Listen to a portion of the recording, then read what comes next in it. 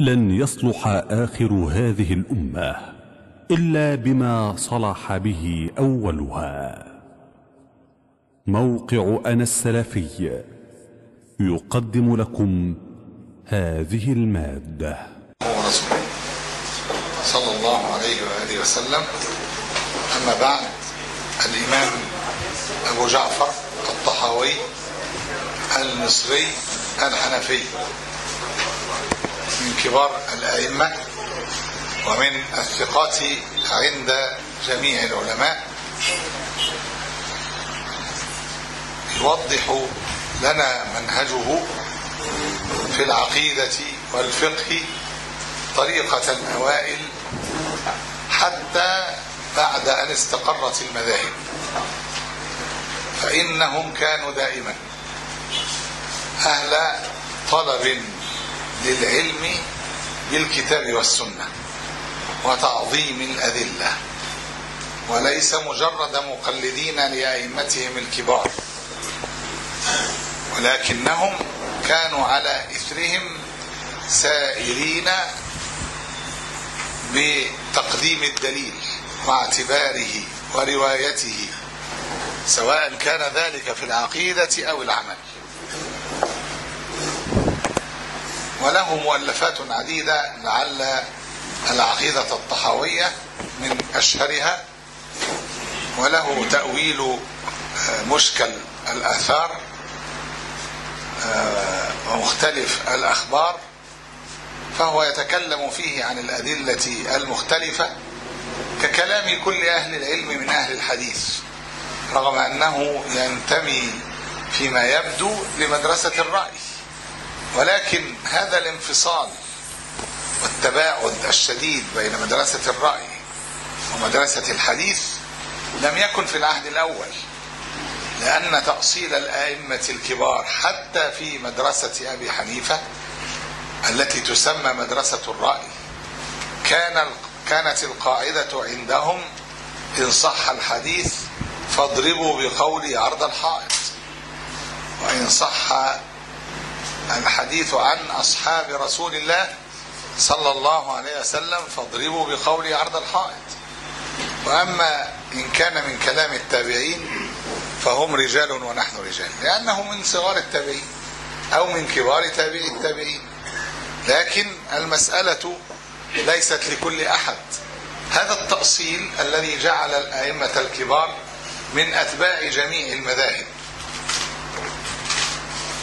كالطحوي في الحنفية والبغوي في الشافعية وابن عبد البر في المالكية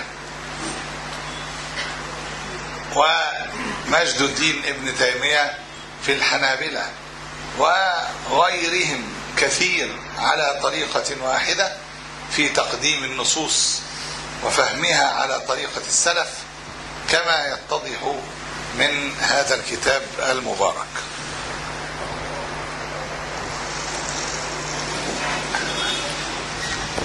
هذه العقيدة التي كتبها الإمام الطحاوي ونسبت إليه يبين فيها مذهب أهل السنة والجماعة وعلى رأسهم أئمة مذهبه الإمام أبي حنيفة النعمان ابن ثابت وأبي يوسف وأبي عبد الله محمد بن الحسن الشيباني. رحمهم الله تعالى.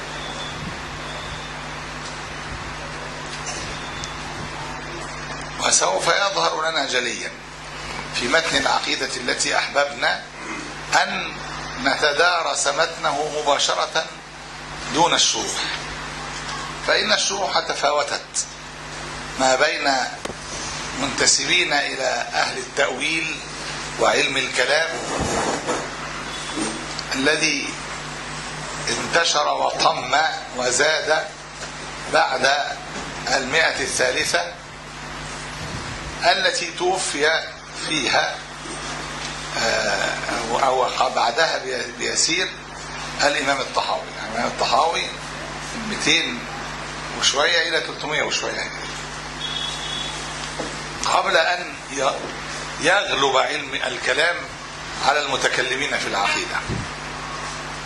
نقول وبين من ساروا على طريقة السلف لكن استعملوا علم الكلام كثيرا. ومن ذلك الشرح المشهور بشرح العقيدة الطحاوية لابن أبي العز الحنفي.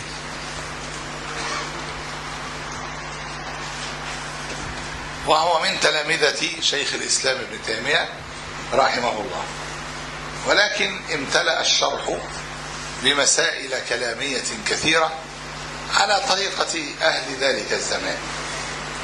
ولكن المتن أخف بكثير من ذلك وإن كانت فيه إشارات. بل الإشارات من قبل ذلك من عهد الإمام البخاري رحمه الله وعهد الإمام أحمد بن حنبل لكن لم يكن بالكثرة البالغة.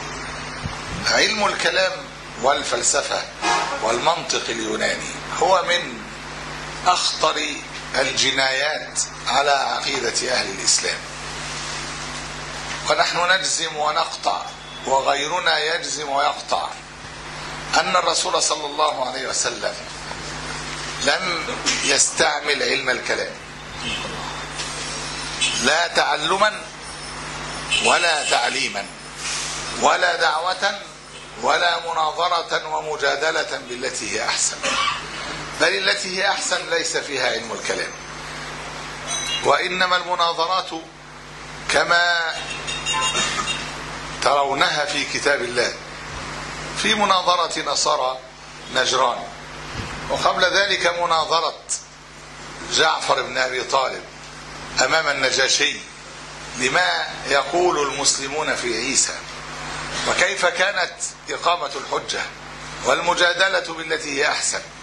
هي ببيان حجج القرآن وليس باستعمال علم الكلام. إن كان علم الكلام أهون من الفلسفة لأن الفلسفة لا تقر بالمبادئ الكبرى لأهل الإسلام. في الوحدانية وخلق العالم والنبوات والبعث بعد الموت. فضلا عن القضايا المتعلقة بالقدر والصفات ومسائل الوعد والوعيد.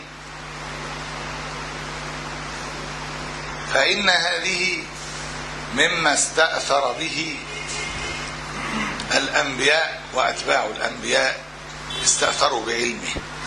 وكذا الأخبار عما مضى وعما يأتي بطريقة يقينية. لا يعرف على وجه الحق إلا من طريق الأنبياء. لما ترجمت كتب الفلاسفة إلى العربية وانشغل المسلمون أو كثير منهم في تلك الفترة في أوائل الخلافة العباسية بما يتناقل من هذه الكتب والشبهات التي تطرح. تولد علم الكلام ليثبت العقائد الإسلامية الكبرى التي جاء بها جميع الأنبياء من وحدانية الله وخلقه للعالم وإثبات المعاد وإثبات النبوات. هذا الذي جعلوه هدفا لهم ويسيرون في طريق إثباته على طريقة المناطق. يعني هم بيجيبوا اللي الفلاسفة استعملوه من الحجج بس الفلاسفة بيستعملوه عشان يثبتوا الفيض وقدم العالم وأن لا نفي النبوة وإنما هي الحكمة والذكاء والقدرة على الإدراك والتخيل والتعبير. بذكاء يجذب الناس. وطالما أن العالم قديم وأزلي فهو أبدي أيضا ولا بعث بعد الموت ولا جزاء ولا حساب وبالأولى لا تشريع ولا أمر ولا نهي. ولا تستغربوا أن هذه العقائد هي التي تنتشر في معظم العالم اليوم. يعني أوروبا لو أقر أحد منهم بالربوبية لكان هذا هو الموحد عندهم ده اللي بيؤمن. أما الأغلبية فلا يقرون بالربوبية. أو أنه تفضل بالرتبة كما يقوله الفلاسفة.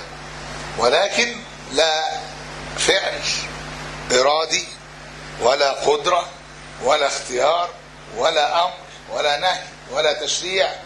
ولا جزاء ولا ثواب ولا عقاب ولا حساب.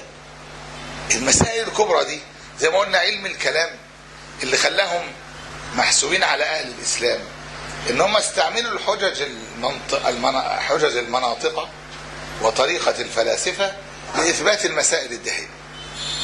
طب بالظبط كده الحجج دي هي اللي وصلت التانيين لأنواع الكفر لقدم العالم ونظرية الفيض وأزليته كذلك أبديته كذلك وإن ما فيش رسل ولا فيش شرائع ولا في يوم آخر.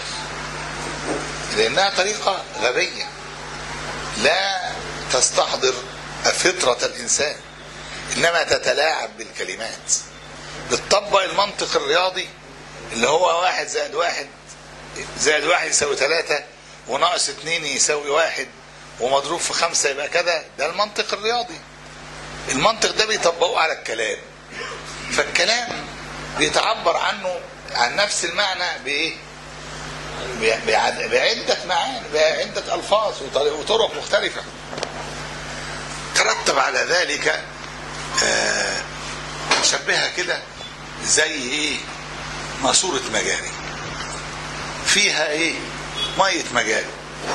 والناس قالت إحنا بدل ما توصل مجاري إحنا هنوصل بيها إيه؟ مية شرب.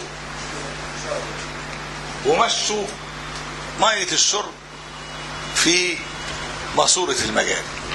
هيوصل للناس إيه؟ مية بمجاري. هيوصل للناس مية متوسخة بمجاري. حتى وإن كانت هي مش مية مجاري صرف. بس إيه؟ متوسخة. بطريقة تمرضهم تمرض قلوبهم. وإن كانوا مش هيموتوا مباشرة زي ما التانيين ماتوا. مش شرط يعني. وبعضهم بيموت من كتر الشبهات لغاية ما يوصل للإلحاد ويوصل لأنواع الكفر ويقول أنواع من المكفرات وهو لا يشعر وهو معدود عند قومه من أئمة الدين.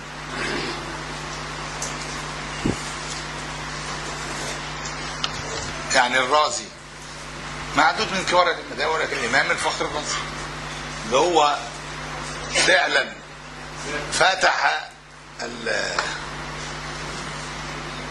حد السد وفتح علم الكلام على الأمة ككل أكثر من أي حد قبله وهو مؤلف كتب متضمنة لعبادة النجوم. بعض الناس يقولوا ألفها يعني استعلاء على أصحابها. عايز لو ما نعرف أقول لكم أي حاجة. ابن تيمية جاء على مواضع معينة من كلام الرازي وقال وهذه ردة عن الإسلام. حتى أن بعض المشايخ المتأخرين بقى اللي بيدوروا على عدم التفرقة بين النوع والعين يقولوا ابن تيمية كفر الإيه؟ الفخر الرازي. هو ابن تيمية قال هذه ردة ما قالش الفخر الرازي إيه؟ كافر. يقول ولعله تاب منها. ولعله يعني لم ينتبه يعني يلتمس له حاجات تمنع الايه؟ التكفير عشان كده بقول لكم إن في ناس ماتت من المية اللي فيها مجاري دي اللي هو علم الكلام والفلسفة وعلم المنطق اليوناني استعماله في العقيدة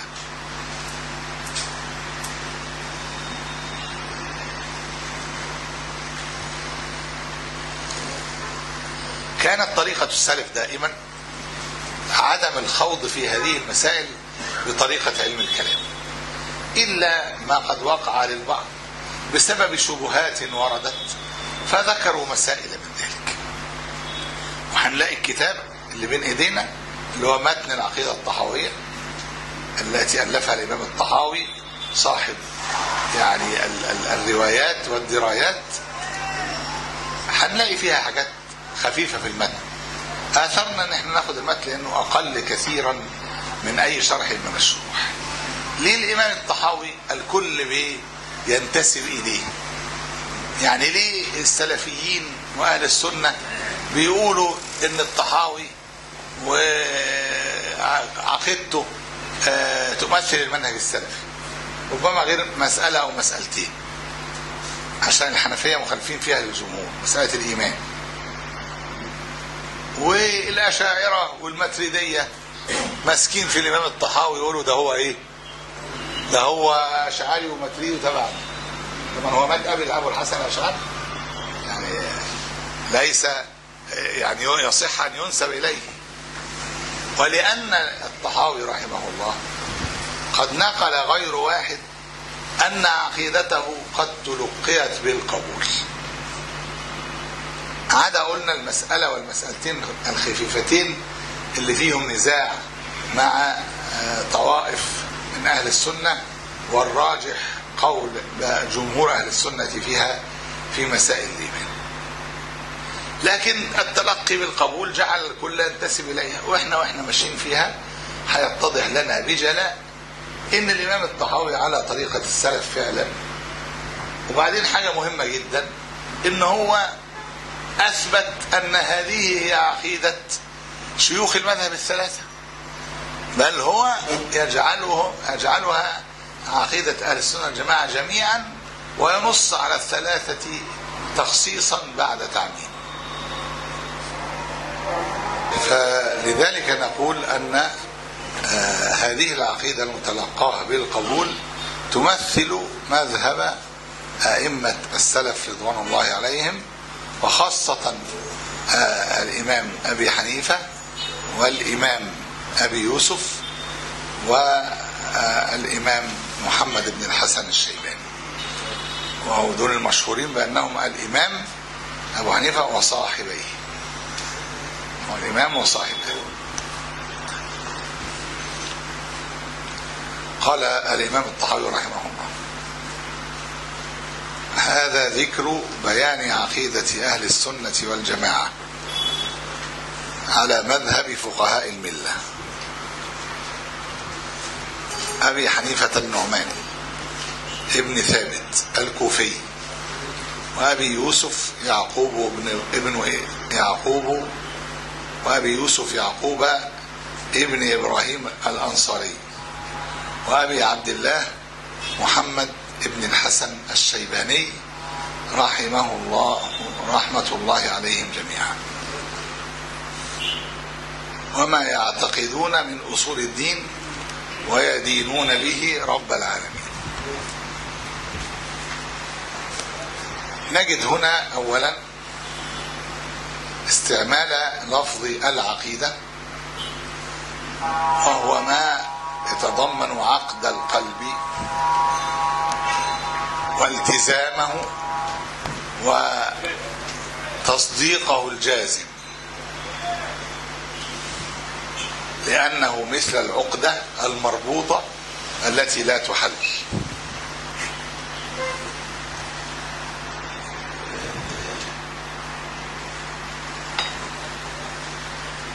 واللفظ المستعمل في الكتاب والسنة هو الإيمان. ولا شك أنه أعلى قدرا وأوسع معنى من لفظ العقيدة. ولكن لا مشاحة في الاصطلاح. طالما علمنا أن المقصود قول القلب وعمله ونطق اللسان وبقية أقواله ثم العمل بمقتضى ذلك. ثم استعمل لفظ أهل السنة والجماعة.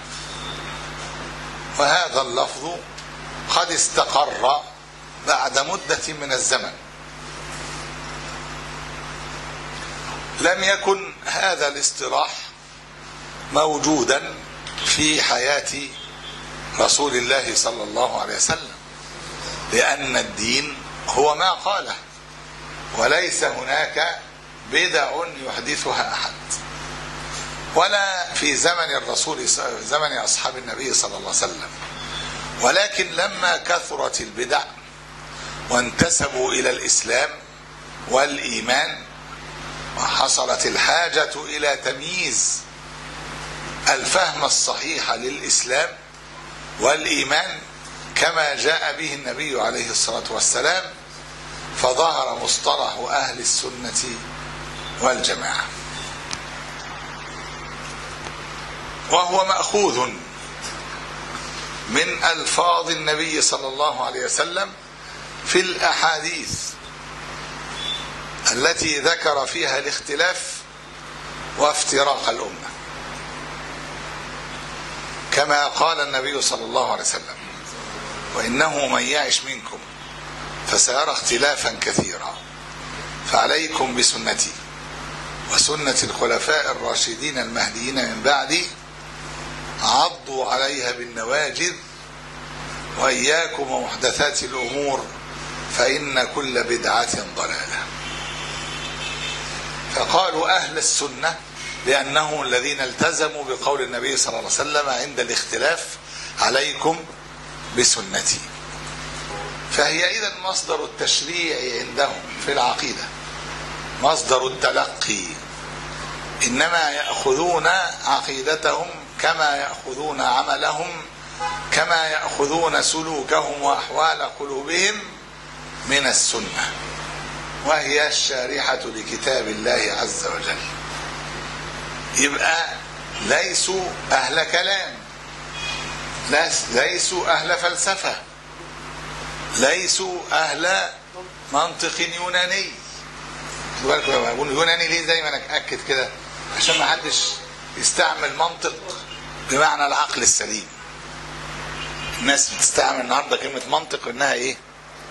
يا عم اتكلم بمنطقية. يا عم ده كلام ملوش منطق خالص. لكن هو أصلا علم المنطق اليوناني إن هو بيقعد يركب الكلام.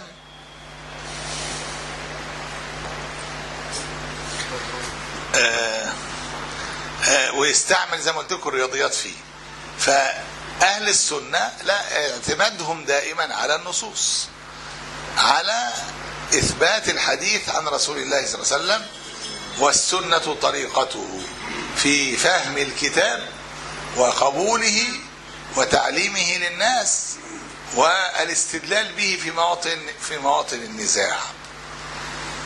وأما أنهم الجماعة فلأن الرسول صلى الله عليه وسلم قال وستفترق أمتي على ثلاث وسبعين فرقة. قال افترقت اليهود على إحدى وسبعين فرقة. وافترقت النصارى على ثنتين وسبعين فرقة. وستفترق أمتي على ثلاث وسبعين فرقة. كلها في النار إلا واحدة. قيل ومن هم؟ قال هم الجماعة. وفي الرواية الأخرى هم من كان على مثل ما أنا عليه اليوم وأصحابي. فتبين بذلك أن الرسول صلى الله عليه وسلم راغب أمته في أن يلتزموا ما كانت عليه الجماعة الأولى. جماعة الصحابة رضي الله عنهم على عهد رسول الله صلى الله عليه وسلم. وقد بقوا على جميع مسائل الاعتقاد كما تركهم عليها النبي صلى الله عليه وسلم بل وكبريات مسائل العمل كإقام الصلاة وإيتاء الزكاة وصوم رمضان وحج البيت. فالغرض أن الجماعة هم من اجتمعوا على ما كان عليه أصحاب رسول الله صلى الله عليه وسلم.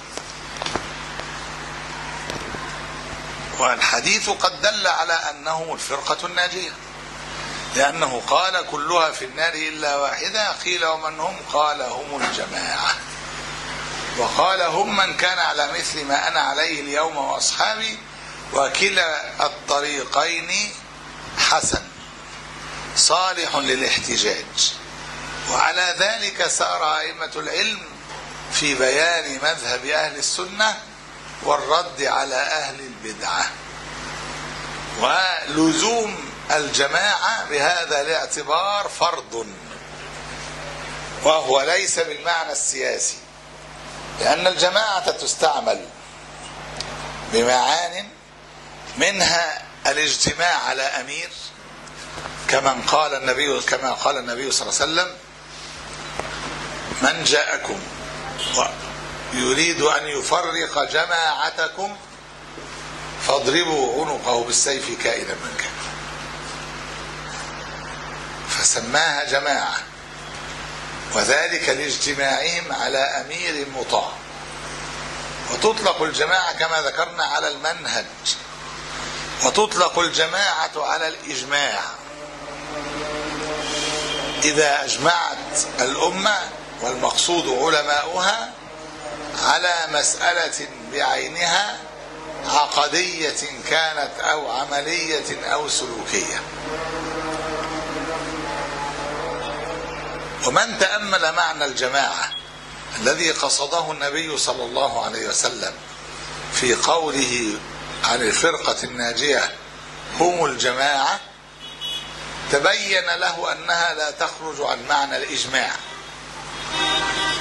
الذي ذكرنا أنه حجة لقول الله ومن يشاقق الرسول من بعد ما تبين له الهدى ويتبع غير سبيل المؤمنين نوليه ما تولى ونصليه جهنم وساءت مصيرا وقال النبي صلى الله عليه وسلم لا تزال طائفة من أمتي على الحق ظاهرين لا يضرهم من خالفهم أو خذلهم حتى تقوم الساعة. من هنا قلنا أن جماعة الصحابة لم يختلفوا قط في مسائل الاعتقاد. ولذا قلنا نفهم النصوص بفهمهم لأن طريقتهم في الفهم وتعبيرهم عن هذا الفهم لم يقع فيه اختلاف. ولذلك كان فهمهم حجة. وأنت اليوم أصبحت تسمع من يطالب ويقول لا يلزمنا فهم السلف. نقول في باب العقيدة والعمل والسلوك. هذا الباب لا يحتمل مخالفة إجماعهم وجماعتهم. لا يحتمل بل فهمهم لازم لكل أحد. لشهادة النبي صلى الله عليه وسلم لهم بأنهم الفرقة الناجية. لذلك نقول كلمة كتاب وسنة بفهم سلف الأمة نعني بذلك الصحابة رضي الله عنهم ثم الذين يلونهم ثم الذين يلونهم يقولون أنتم أتيتم بأشياء لم يقلها السلف. نقول نحن نلتزم بما قلناه بأن نترك ما لم يقله السلف إلى كلامهم إذا ثبت. فهل تفعلون أنتم ذلك أيضا؟ ونحن في تلك الحال لو ألزمنا بترك بعض المصطلحات والألفاظ طالما ظهر الحق فيها بالدليل والإجماع فلا علينا أن نترك الاصطلاحات. لكن لا بد من معرفة المنهج. لذلك قلنا لما انتشر اسم أهل السنة والجماعة وانتسب إليه فرق من المنحرفين كالأشاعرة والمتريدية والصوفية. صار اسم السلفية مجددا حاجة جديدة. بعد أن كان اسم أهل السنة والجماعة حاجة للتميز بين المنتسبين للإسلام وهم على بدعة وبين المنتسبين للإسلام وهم على السنة فظهر مصطلح أهل السنة والجماعة كذلك في داخل هذا المصطلح نحتاج إلى بيان من كان على طريقة السلف ليعرف فعلا أنه على منهج أهل السنة والجماعة أم ينتسب بانتسابا غير حقيقي أو يتشبع بما لم يعطى. يقول على مذهب فقهاء الملة أبي حنيفة النعمان بن ثابت. طب واختار الثلاثة دول ليه؟ لأنهم أئمة مذهبه. ثم ما قالوه هو في الحقيقة لا يختلف عليه. مالكي ولا شافعي ولا حنبلي ولا من أهل الحديث. ما قاله هؤلاء في العقيدة ليس خاصا بهم إلا مسألة الإيمان. لأن الحنفية لأن الإمام أبو حنيفة جعل الإيمان قول واعتقاد وعمل القلب ولم يدخل فيه عمل الجوارح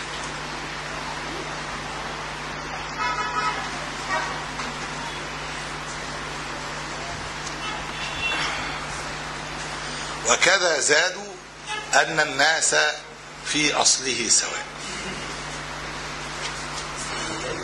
نعم. وهاتان المسألتان. الإيمان عندهم قول واعتقاد وعمل قلب دون عمل الجوارح وأن الناس في أصله سواء هما الاختلاف ال- ال- ال- الجدير بالتعليق في متن الطحاوية.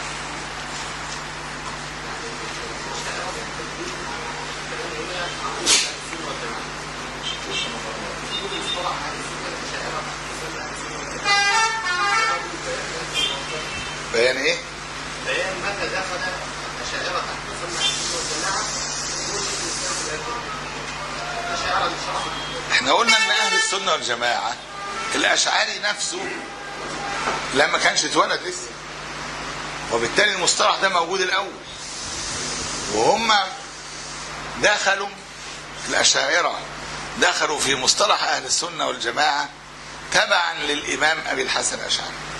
الذي رجع إلى مذهب أهل السنة في آخر إيه عمره وده ورجع إلى مذهب الإمام أحمد اللي هو مذهب أبي حنيفة اللي هو مذهب أبي يوسف اللي هو مذهب أبي الح... محمد بن الحسن اللي هو مذهب الإمام مالك اللي هو مذهب الإمام الشافعي.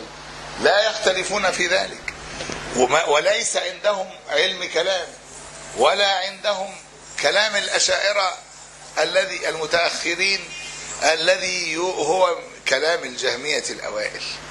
هم لما ردوا على المعتزلة الأشاعرة ومعتزلة دول بتوع علم الكلام اللي اخترعوه وأسسوا هذا العلم عند المسلمين وهو علم لا ينفع وجهل لا يضر بل بل علم يضر في الحقيقة ويفسد القلب.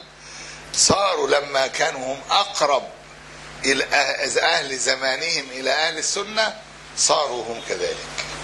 يسمون أهل الايه؟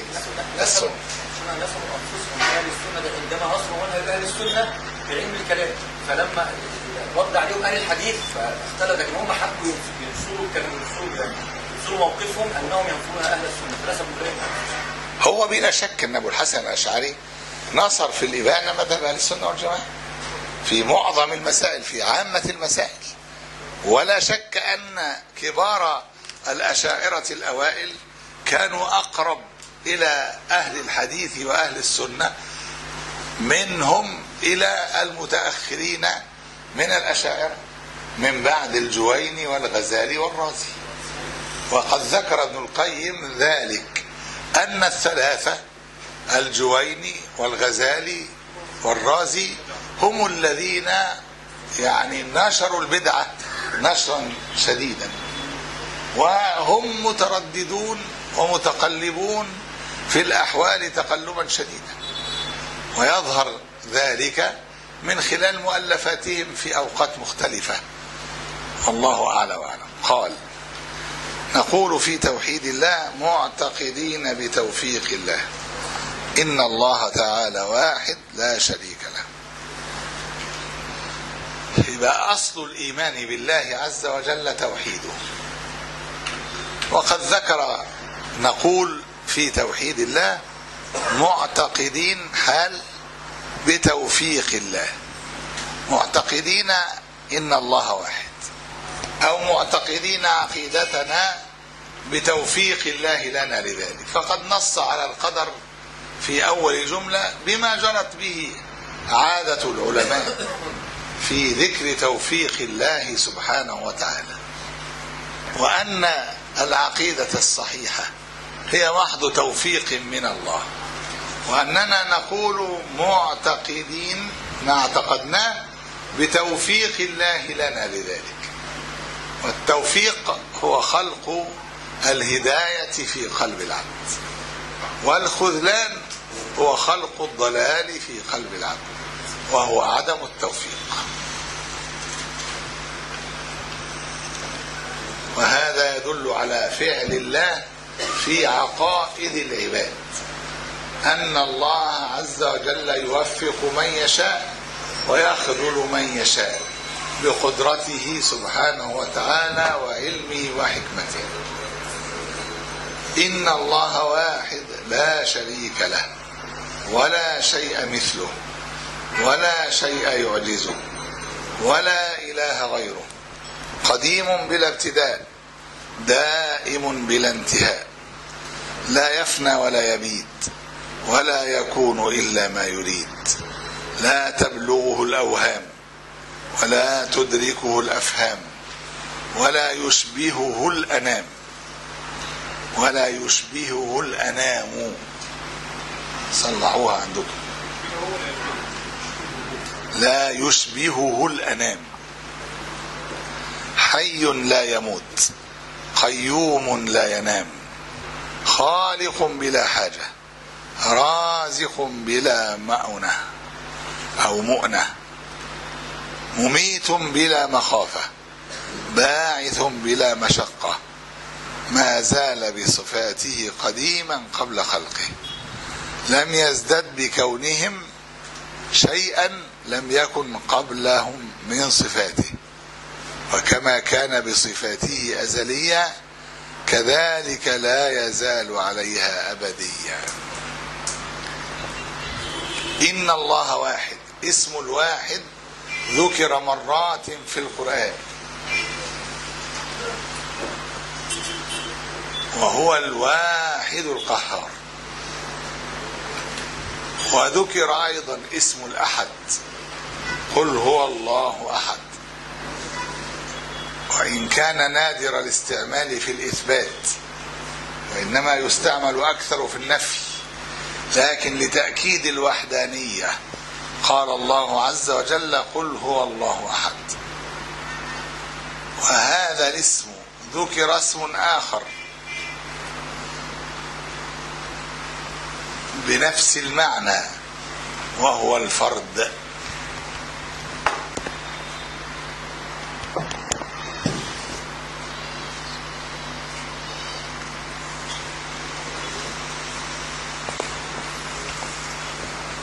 وإن كان الفرد لم يرد في نصوص القرآن وإنما ورد في نصوص بعض الأحاديث وإن وقع فيها نزاع كرواية الترمذي لحديث الأسماء الحسنى.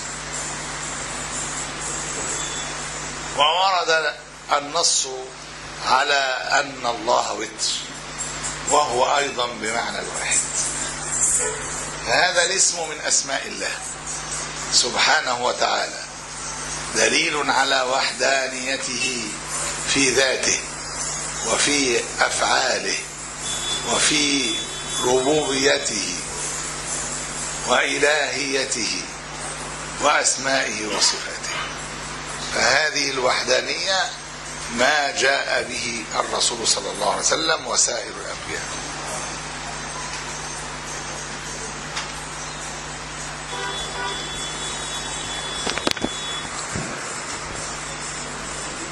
وقد ورد في التوراة والإنجيل ذكر الوحدانية كما في أول الوصايا العشر في التوراة في سفر التكوين الرب إلهنا رب واحد رب إبراهيم وإسحاق ويعقوب وأن تحب الرب إلهك من كل عقلك وقلبك وفكرك ونفس النص في الإنجيل. إلى يومنا هذا حتى بعد التحريفات قالوا للمسيح أيها المعلم أي الوصايا هي أول الكل؟ قال كما هو مكتوب الرب إلهنا رب واحد رب إبراهيم وإسحاق ويعقوب.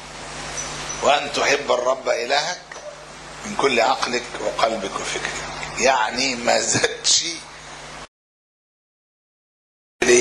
في التوراة من وحدانية الله. ومنة الله على أهل الإسلام. أن الذي يرفع شعار التوحيد. لا إله إلا الله. وأن الله واحد هم أهل الإسلام. هذا دليل على أن الرسول صلى الله عليه وسلم هو الذي أحيا الله به ملة الأنبياء وعقيدة الأنبياء دون من انتسبوا إليهم من اليهود والنصارى. فالنصارى شعارهم التثليث والصليب في العالم كله واليهود شعارهم شعب الله المختار ومصلحة اليهود ولو كفر الناس وأشركوا بالله. ومن الله علينا بوحدانية الله عز وجل وأنه سبحانه وتعالى لا شريك له.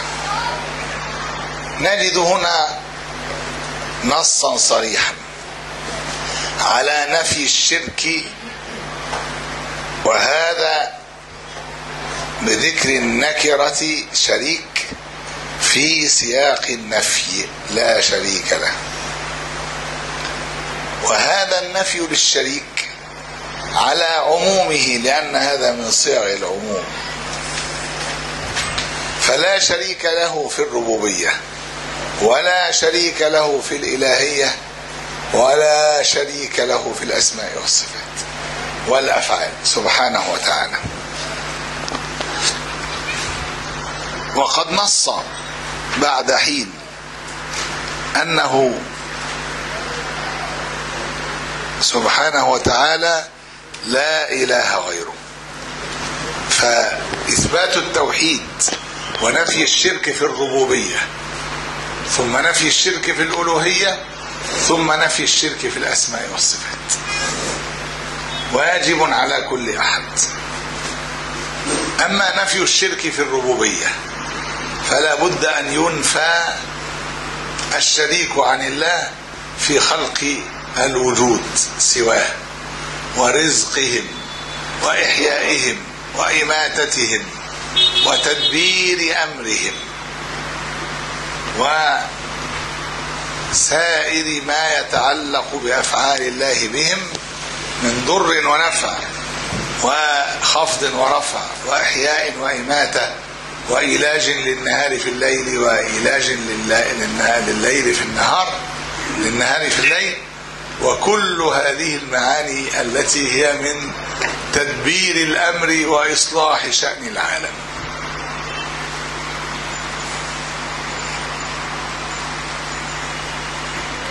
كما يجب إفراد الله سبحانه وتعالى بمعنى الملك ونفي الشريك عنه في ملكه وملكه. في أنه سبحانه وتعالى لا يملك أحد معه شيئا. ثم المعنى الثالث. معنى الملك والأمر والنهي والتشريع والسيادة. يقال ربطت الناس سستهم إذا كنت فوقهم. ولذا كان نفي الشريك عن الله عز وجل في تشريعه وأمره ونهيه. ولا يشرك في حكمه أحدا. ولا تشرك في حكمه أحدا. إن الحكم إلا لله أمر أن لا تعبدوا إلا إياه. ذلك الدين القيم ولكن أكثر الناس لا يعلمون. ومن مظاهر الشرك الذي التي يجب نفيها في الربوبية.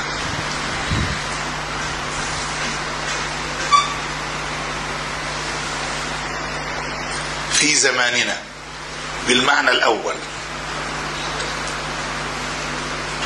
اعتقاد أن غير الله يخلق أو يرزق أو يدبر الأمر.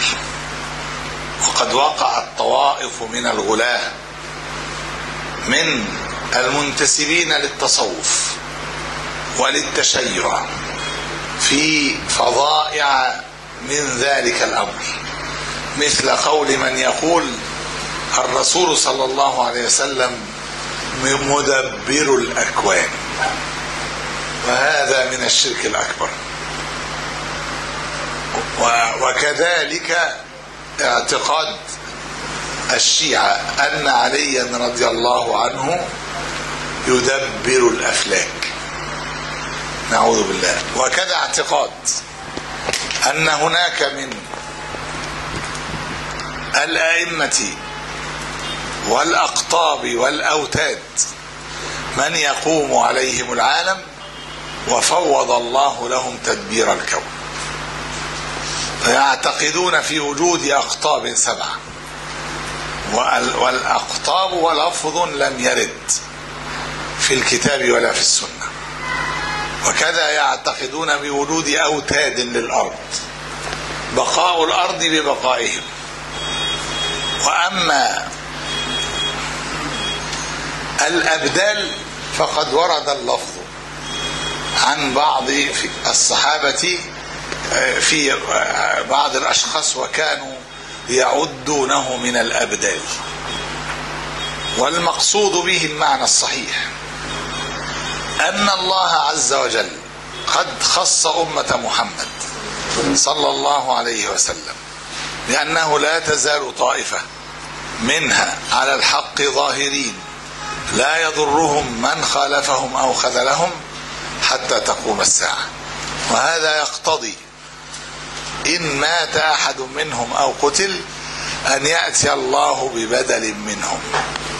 فهذا معنى الأبدال. وليس معناه قط أن الكون يدبره هؤلاء الناس أو يتبادلون على تدبير الكون أو أنهم مستقلون أو مشاركون أو شافعون أو متسببون في تدبير الكون. ومن مظاهر الشرك التي يجب نفيها في تحقيق التوحيد في معنى الربوبية نفي الملك من مظاهر الشرك إثبات الملك لغير الله والحضارة الغربية. من أخطر من يزعمون أن الإنسان يملك نفسه يفعل فيه ما يشاء. وأن شهواته ورغباته أن شهواته ورغباته يجب أن يمتثل لها ولا يمنعه مانع. وهذا كله نفي لملك الله للإنسان ولماله ونفسه وولده وسائر شؤونه التي يأمر فيها بما يشاء.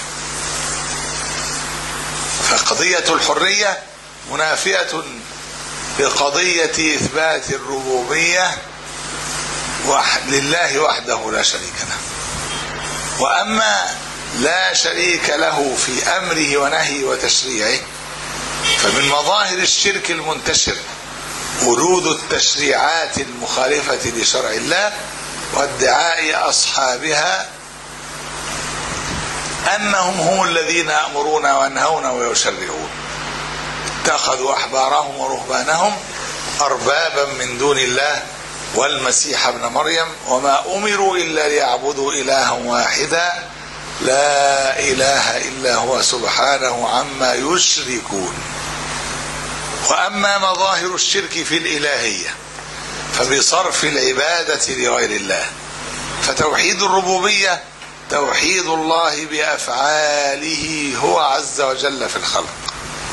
وأما توحيد الله في الإلهية فتوحيده بأفعال العباد بأن يركعوا لله وحده ويسجدوا لله وحده ويخافوا من الله وحده ويرجون من الله وحده فيظهر بذلك إفرادهم لله سبحانه وتعالى بالعبادة. وأما في الأسماء والصفات فلا شريك له في أسمائه وصفاته. وهذا يتضمن نفي التعطيل لأن العدم موصوف بأنه لا شيء وبنفي الصفات. ونفي تشبيه الرب سبحانه وتعالى بخلقه. فمن وصف الله بصفات المخلوقين فهو لم يشهد شهادة التوحيد. ويشمل منع تشبيه الله منع تشبيه المخلوقين بالله عز وجل. كمن يصف نفسه بصفات الله. نعوذ بالله أو يصف غيره. فالتعطيل وتشبيه المخلوق بالخالق والخالق بالمخلوق كل ذلك دخل في النفي المقصود من لا شريك له. نسأل الله أن يرزقنا الإخلاص وأن يرزقنا التوحيد ونعوذ بالله أن نشرك به شيئا نعلمه ونستغفره لما لا نعلمه. أقول قولي هذا وأستغفر الله لي. قل هذه سبيلي أدعو إلى الله. على بصيرة أنا ومن اتبعني وسبحان الله وما أنا من المشركين.